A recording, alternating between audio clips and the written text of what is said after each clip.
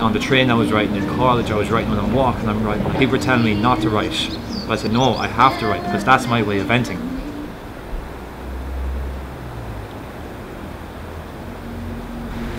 Look at Moses in motion. I could separate this ocean like I was Moses parting the Red Sea. Hip hop frees this oppressed class from slavery. This oppressed class pays cheap gas to warm their gaps and get done. Just can't afford that tax. So cheap gas becomes a bigger pain in the arse for the press class. I can't afford to eat every day. These mistakes I made when I should have been working my grades. I lost interest to invest into myself and what's on the page. Pressure put on a kid at such a young age to reach these high grades in his free life, paid away with that paperweight. How the fuck's this a free life when you have to pay your way with that paperweight?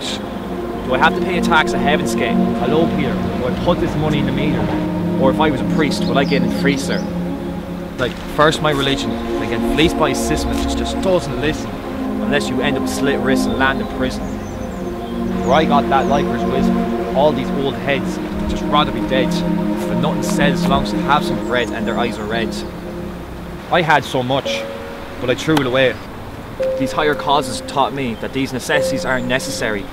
I create these recipes to understand my blessings see. I can feel the cry of any mother. Those tears are like no other. I can feel the cry of any father as those bills are getting larger. But I thank my father for working hard in this life for my foundation. He taught me to be a unique character in this life with no hesitation. I show my determination, and I prove that to my probation. So I thank my father for my foundation and my mother for that support. I'm sorry I made mistakes that brought me up in the courts. It's not how I was raised. I need to reforge where these cold swords stab one in the back. I got flames coming out of my core.